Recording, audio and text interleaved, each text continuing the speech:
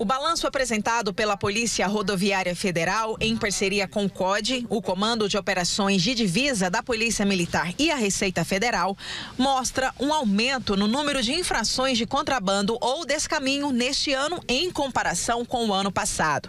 Nos seis primeiros meses de 2020, foram 814 pessoas flagradas nas rodovias federais em todo o país com produtos irregulares e de janeiro a junho deste ano já foram 881 pessoas. Eles saem da sua cidade não vamos dizer apenas de Goiânia, não, mas do Brasil inteiro, vão até o Paraguai ou naqueles, naquelas cidades vizinhas, fazem as compras e na ilegalidade acabam trazendo produtos que não são permitidos a sua comercialização aqui ou então vêm sem tributação. Essa parceria, juntamente com a PRF e a Receita Federal, ela já vem de vários anos.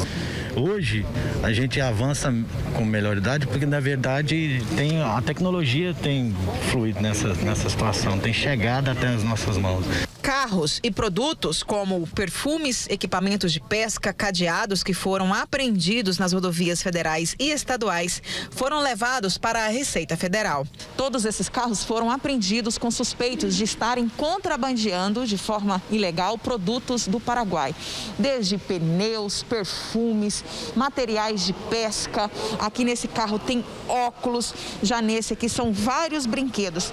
Entrando no carro, a gente percebe que eles aproveitavam todo o espaço para poder fazer esse contrabando. A quantidade de produtos é bem maior, porque aqui nesse depósito da Receita Federal a gente vê as prateleiras lotadas todo tipo de mercadoria, especialmente cigarros, eletroeletrônicos, brinquedos, defensivos agrícolas, pneus. É outra coisa também que tem acontecido com muita regularidade.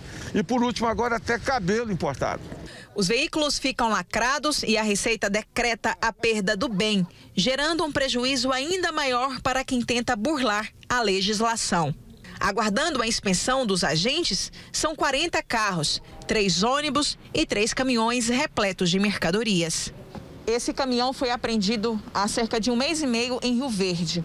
Aparentemente são pneus velhos que poderiam estar indo para uma reciclagem. Porém, da metade lá no fundo para frente, todos os pneus são zero e contrabandeados. Caso o proprietário não consiga provar a regularidade da mercadoria, aplica-se a pena de perdimento, ou seja, a mercadoria passa a ser propriedade da União. O contrabando é um crime federal que pode causar grandes impactos na economia do país. É uma concorrência desleal com a indústria brasileira, com o comércio regular. Então, isso já dá um impacto causando desemprego. Além disso, o consumidor pode estar comprando um produto é, que não segue as normas de fiscalização brasileira, produtos inadequados inadequados ao consumo. Então, o maior prejudicado nisso é a sociedade, é o consumidor final, é a economia nacional. Essa capacitação que está sendo feita entre todas as forças tem nos permitido é, combater muito aquilo que é ilícito, que está sendo transportado